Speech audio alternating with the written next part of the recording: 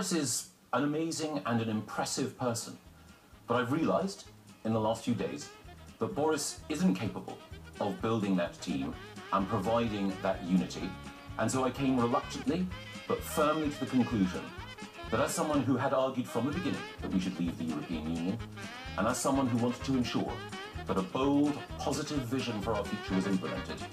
that I had to stand for the leadership of the Conservative Party. And there were a number of people who had said to me during the course of the week, Michael, it should be you. I reflected on those comments, I reflected on the individuals who'd made that case, and I came last night, as I say, with um, uh, a degree of hesitation, but ultimately, believing that this was absolutely the right thing to do, I came to the conclusion that it was necessary to put myself forward